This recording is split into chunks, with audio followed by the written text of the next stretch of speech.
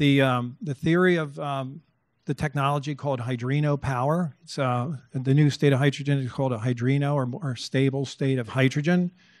It's, um, it was predicted theoretically by uh, applying classical physical laws to the solution of the electron. It solved the electron structure, and for that matter, solves everything from subatomic particle masses to cosmological predictions identically in refutation of quantum mechanics. We've isolated this new state of hydrogen and characterized it by 23 spectroscopic methods at leading universities, academic, and uh, industry. The energy release is enormous, 200 times the energy burning hydrogen. Therefore, you can use water as a source of hydrogen fuel by electrolysis. The SunCell was invented to harness this new power source. It comprises two major components, two molten metal injectors, and a optical, uh, special optical um, cavity or window. The two molten metal injectors inject molten tin, and when the streams intersect, a high current at low voltage is applied. It ignites a brilliant plasma that produces a higher power density than any known power source. This enormous light is transmitted through the optical power window and can be converted into electricity using uh, technology called concentrator photovoltaic cells. We have uh, proven the technology at uh, multiple uh, labs and leading universities and, and uh, by scientists over the years. And the, um, currently we're at 200,000 watts. We're running at commercial scale. Okay, this is, you want to back it up one? I'll back it up. Okay, hit it again. You got to. Let me back it up. Can you back it up again? Okay, if you hit hit it, it'll play the video. Okay, now forward. Okay, hit again. Uh, it's not playing a video. Okay, well, in, in the insert, there's a. Um, this is showing a high-speed video of, of the uh, plasma. It's about 5,600 degrees uh, Kelvin black body radiation, which is the same as the temperature of the sun. At that temperature, it emits tens of millions of watts per square meter. And you can see here the SunCell, we think it's one of the greatest inventions in modern times. It, uh, it'd be impossible to uh, transmit that kind of power if it weren't for optical. So we've invented a new technology that transmits that, that power optically. Next slide. So we'll talk a little bit about hydrino. Next slide. So where did it come from? That plasma shouldn't exist. So um, there's a fundamental postulate of quantum mechanics that classical physical laws don't apply at the level of the atom. That's not true. In fact, you can solve everything from subatomic uh, particles to cosmological parameters. 85 orders of magnitude of scale, that's 1 5 by 85 zeros, an exact analytical expression. It gets back to the Bohr-Einstein debate that reality is, is exact and it is, does obey physical laws. Next. You can solve molecules exactly. This is a exact solution. You can image them by atomic uh, force microscopy, for example, shown here. Next slide. Okay, if you played a video, you can um, you can solve proteins, for example, insulin. You can solve DNA. These are exact solutions. Every single electron, every single molecular bond, exact. Next slide. Uh, you played a video. This is a metal lattice. And on the, on the right, you can see ionic lattice. Again, every, every solution exact. There's no uncertainty. Next. You can, uh, the classical laws predicted acceleration expansion of cosmos before it was observed, and it, it um, predicted the large scale structure of the universe. It now refutes and disproves Big Bang theory origin of the universe. It actually shows galaxies all the way back in the Webb telescope data, and that was predicted theoretically years before it was observed. Next slide. So now look at hydrino theory a bit, a little more detail. So you have atomic hydrogen transfers energy radiationlessly to an energy acceptor. It's a potential energy of hydrogen exact unit needs to be transferred, causes the um, electron of the acceptor to ionize, and the hydrogen, um, hydrogen atom's electron transitions to a lower orbit. And that releases additional energy of uh, 122.4 electron volts, 10.1 nanometer cutoff continuum radiation. Next slide. That radiation is observed from all over the universe at five times more intensity than all the emitters combined. It's called the ultraviolet crisis. Another uh, indicator that what we're making is dark matter. So we make new compounds, and there's 500 spectral lines called the diffuse interstellar bands. They're seen all over the universe with no explanation, billions of dollars spent.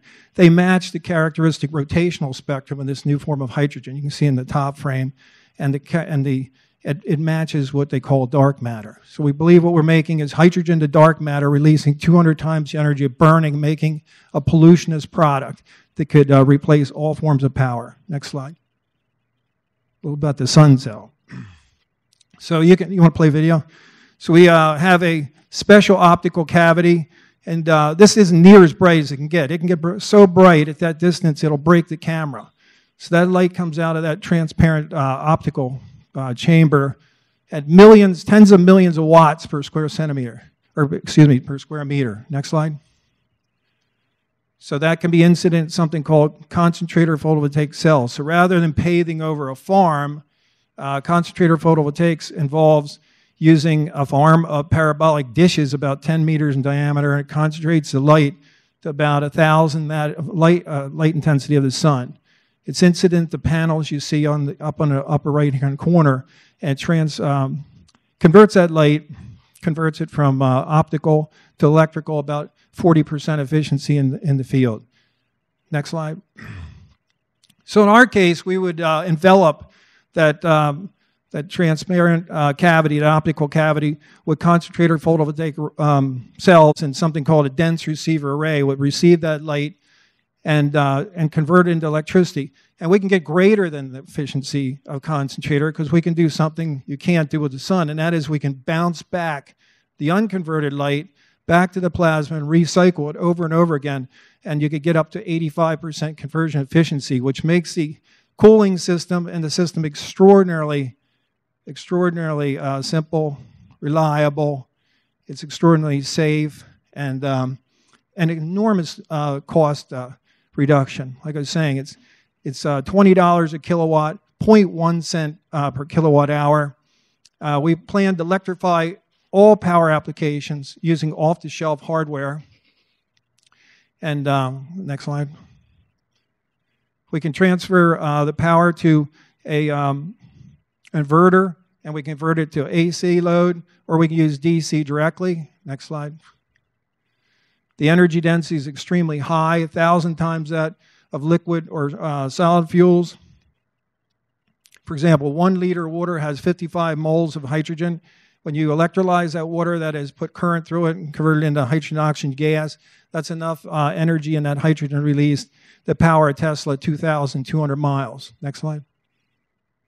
Uh, enormous advantages in cost 0.1 cent per kilowatt hour, about 200 times uh, cheaper than any uh, conventional power source. There's no rare earths, there's no supply chain issues, no toxicity, no moving parts, and everything can be recycled. Next slide. Okay, looking at there's zero emission, it's safe, it runs at less than 1% atmospheric pressure. It's uh, incredibly low cost, no intermittency, uses conventional inputs, there's no harmful waste, it's easy to transport, it's autonomous, the fuels and grid infrastructure, easy to site, and there's no transmission, distribution, or demand charges, and potentially not even FERC regulation. So you could drop this into anywhere. You could drop it into New York City, you can drop it into Africa, into anywhere. You don't need uh, fuel or um, transmission infrastructure. Next slide. So we could plug and play, go for heavy industry, commercial, industrial, heavy residential, big power loads initially, plug and play. Next. Use uh, conventional equipment like baseboard heat, um, heat pumps, uh, electric arc furnaces, off the shelf hardware, electrify all loads thermal, electrical, and motive. Next one, slide. So, we'd, um, so all, this, uh, all this hardware already exists electric vehicles like electric trucks, cars, trains. There's uh, emerging aviation industry, all powered by batteries. We replace the batteries with something that would have uh, about 150 times higher power to weight ratio at this scale and stage than even the internal combustion engine is far superior to any known power source. And we can also, uh, in the interim, charge batteries and um, you know the EV um, existing technology, battery technology for electric vehicles. Next. So let's kind of uh, wrap it up. It's a massive addressable market. I'm going to go back to slide. Uh, you want to go all the way back to slide two? I think you skipped over that. All the way back to the beginning. because this is the most important, I think, point of the, the lecture here. I want to point out a big, right there, back, back, there you go. Okay, it's an enormous market, $16.3 trillion uh, a year market. It can replace thermal, electrical, stationary electrical, motive, all essentially all power markets. Incredibly inexpensive, $20 a kilowatt, kilowatt not $2,000 a kilowatt, 0.1 cent per kilowatt hour on, the, on demand, on site, all totally autonomous. We can do total electrification of everything thermal loads, electrical loads, and motive loads. This is the big point. So, uh, climate impact. What's the impact on the climate? The peak power generation capacity world is 15 terawatts. That's uh, 250 kW units is what we're working on. Modular, scalable. You can scale it to any power and uh, aggregate amount. So you had 60 million of those. That wipes out the entire, that supplies all the power the world needs, wipes out the entire problem. How much is that? 60 million is 60% of one year's world car production, and these things are far simpler. How much would it cost? $300 billion. That's less than the subsidies in the Inflation Reduction Act of 2022. So that gone with the climate crisis.